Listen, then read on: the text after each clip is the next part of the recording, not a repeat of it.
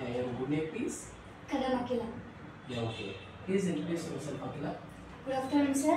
I am Kadam Akila. I am from Acharna and I have recently completed my BSc LPCS in the Giraj Government College, Nizamabad.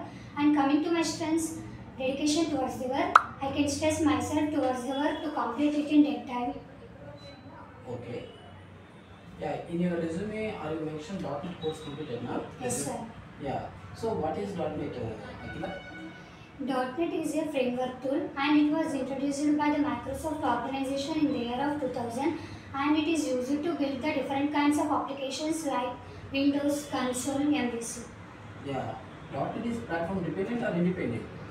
Initially, .NET is platform dependent. It can uh, uh, perform in only Windows operating system.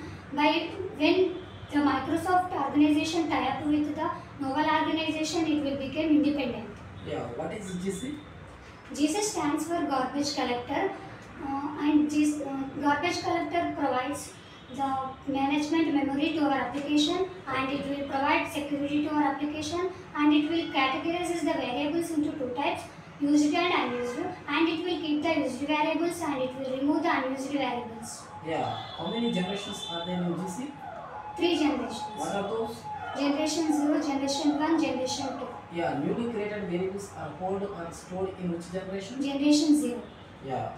So what is uh, what is the difference between write and write line?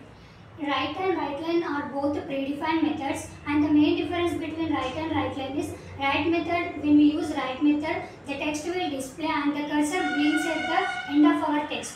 When we use write line method the cursor will blink next line. Yeah. What is loops? loops. When we repeat the statement again and again, we will go for loops. We have four kinds of loops: for loop, for each loop, while loop, and do while loop. Yeah. What is the role of CLR code execution process of C sharp .NET? CLR plays the major role in code execution process. It will convert the mm, source code into MSIL code.